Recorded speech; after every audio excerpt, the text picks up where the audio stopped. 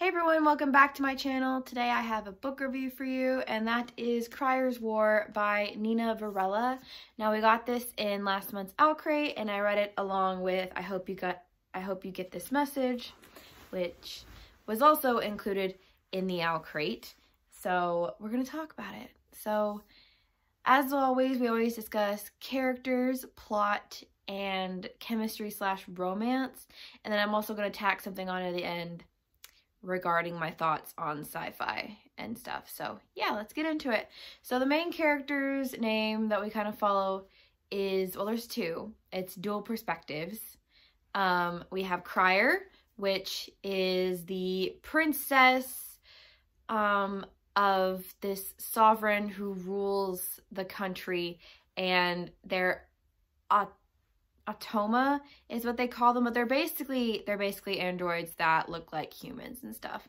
And then we're also following this girl named Ayla, who is human, who Crier um, rescues and gets her a job in the palace as her handmaiden so she can keep her close to her side. It is a enemies to lovers trope story, but I feel more I feel more like it's one-sided enemies to lovers because Ayla fucking hates Crier. Like, she hates Crier. She wants to kill Crier. She wants Crier dead.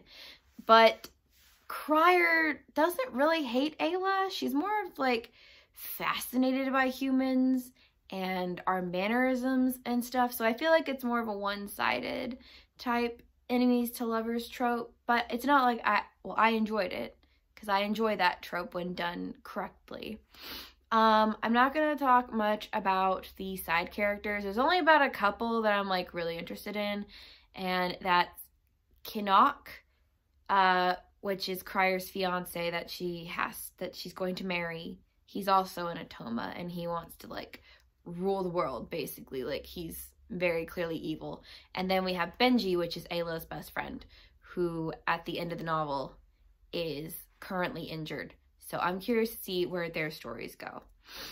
Um, plot. Like I said, it's an enemies to lovers um, trope in that it's basically the robopocalypse happened in that humans created robots and kind of like subjugated them and treated them as pets and servants and stuff and then the robots got fed up with that and they overthrew the humans and now the humans are the ones that are the ser the servants and the subjugates and basically Ayla is part of this resistance that wants to overthrow the robots basically and put humans back on top again.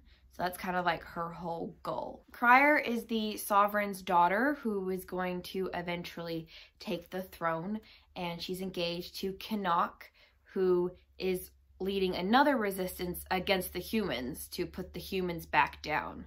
So that's basically the plot. And now we're going to talk about the chemistry.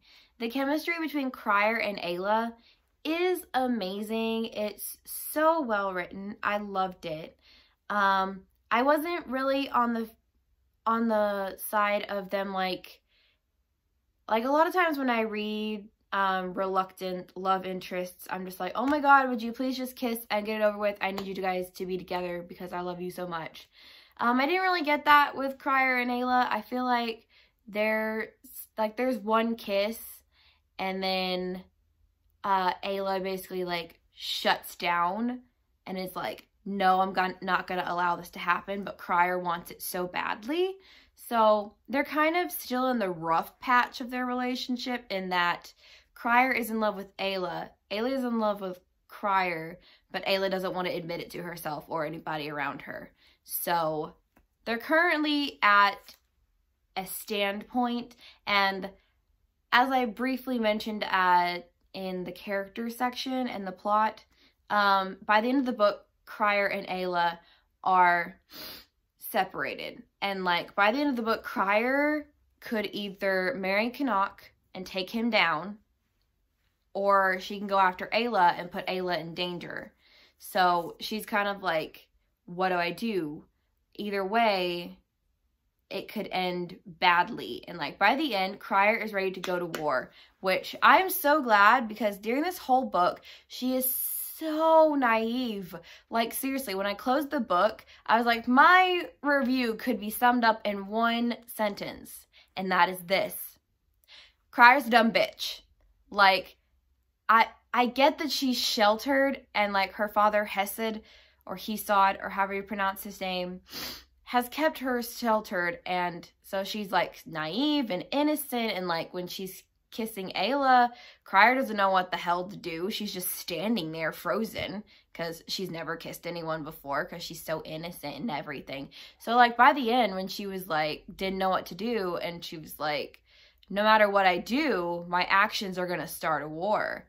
So I'm like, "Yes, please. Yes, please grow. I need some development from you." Because ah, Crier's stupid. She is so stupid. And I mean that like in a affectionate way, not that like, oh my god, she's so stupid and dumb.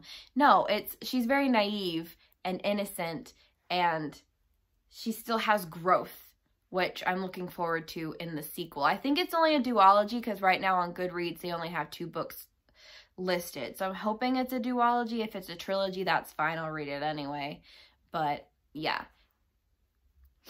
Um this book didn't quite land for me and I think it's because in the past I've had a difficult relationship with sci-fi. Like I don't like Star Wars, I don't like Star Trek, but yet I like Doctor Who. So I don't know, cause like I read um Heart of Iron by Ashley Poston and I loved it. And then I read Mirage by Somaiya Daud and I loved it. And both of those are technically sci-fi books, but I don't know. I loved Heart of Iron. Like, I am so looking forward to getting the sequel so I can finish the duology and figure out what happens. And I love Mirage, and I can't wait for the next book. But like with this one, and I hope you get this message. Well, I think I hope you get this message was kind of spoiled by the ending. Spoiled for me by the ending anyway. I'll link my review if you want to go watch that if you haven't already. But this one, I don't know, it puts so much emphasis on the whole they're androids angle and made it very clear that like they are different. And I'm like, okay, I get it. They're different. Stop telling me this because I feel like if they had like if they had only touched on it a bit and the book was only a little bit about that and it was mostly focused on the characters going to love each other, I probably would have loved it more. I just think there was too much emphasis on the sci-fi part and not as much on the romance and chemistry. Um, I love the court intrigue in it because I love court intrigue. But yeah, so regretfully, I only gave it a three star, which is not a bad book in my, like, in my case. In my case, anything like two star and below is bad. Three star is, I didn't like it, or I didn't, I didn't love it, but I didn't hate it. I just liked it. So therefore it falls in the middle. I'm kind of like, I'm really neutral about it. So yeah, that was my review for Crier's War. And I guess I will talk to you guys later. Bye!